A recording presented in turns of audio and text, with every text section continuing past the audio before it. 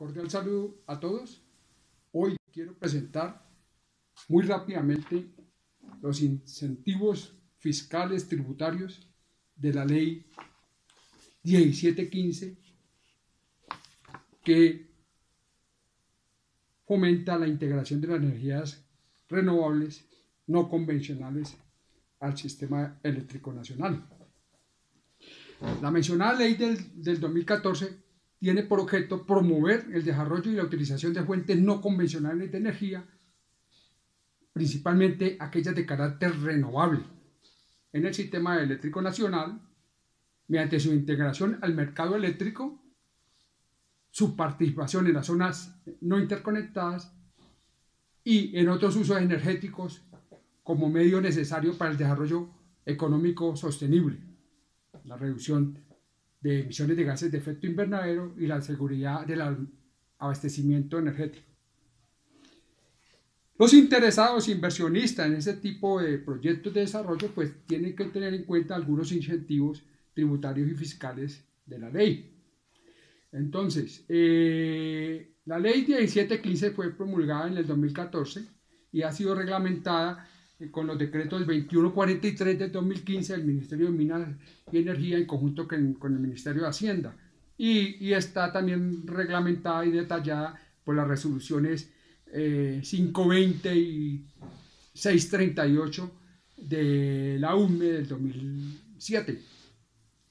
Específicamente, tiene cuatro uh, incentivos tributarios eh, el primer incentivo tributario es la deducción especial en la determinación del impuesto a la renta. O sea, tiene un incentivo con respecto al impuesto sobre la renta. Los contribuyentes declarantes del impuesto sobre la renta que realicen directamente nuevas erogaciones en investigación, desarrollo, e inversión para la producción y utilización de la energía a partir de las fuentes no convencionales de energía o gestión eficiente de la energía, tendrán, derecho a deducir hasta el 50% del valor de las inversiones. El valor de la a deducir anualmente no puede ser superior al 50% de la renta líquida del, del contribuyente. Una importante deducción o un importante incentivo. Otro segundo incentivo es el tema de la depreciación.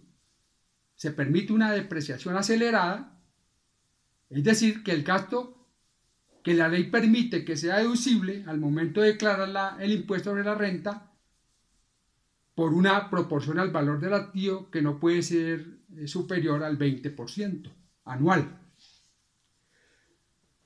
Otro incentivo otro tercer incentivo es la exclusión del IVA por la compra de bienes y servicios, equipos, maquinarias, elementos y o servicios nacionales importados, esto está exento totalmente del IVA. La cuarta excepción interesante es el tema de la excepción de gravámenes arancelarios. Excepción del pago de los derechos arancelarios de importación de maquinarias, equipos, materiales e insumos, destinados exclusivamente, obviamente, para labores de, de preinversión e inversión de los proyectos de, de las fuentes no convencionales de energía.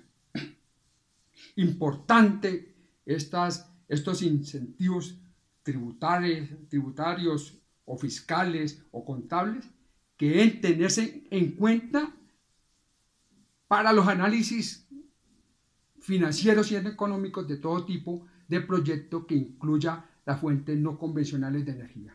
Cordial saludo, espero les sirva esta información. Les invito a suscribirse a a mi canal. Muchas gracias.